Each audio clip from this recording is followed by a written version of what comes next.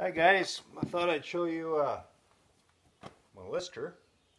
Got it running recently after, uh, well let's just say it was one of my winter projects.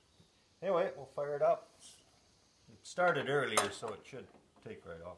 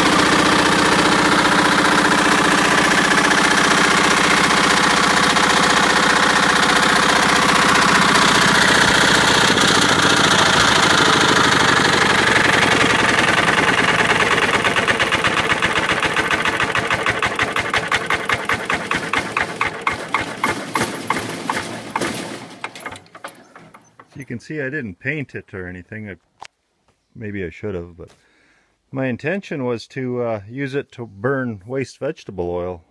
It's uh, around here. There's a lot of it around, but even with my little disposable generator, I think I burnt maybe uh, well less than 100 liters of fuel all winter. So I don't think I'll be using this too often. Maybe.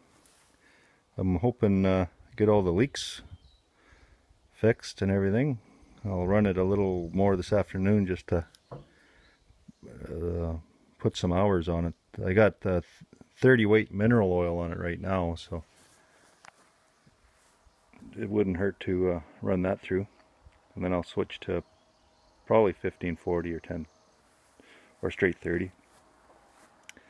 Anyway, if you're going to rebuild one of these, I suggest you have a, a lot of patience. This one was a basket case when I got it. I got the, the old cylinder here somewhere. Hang on one sec.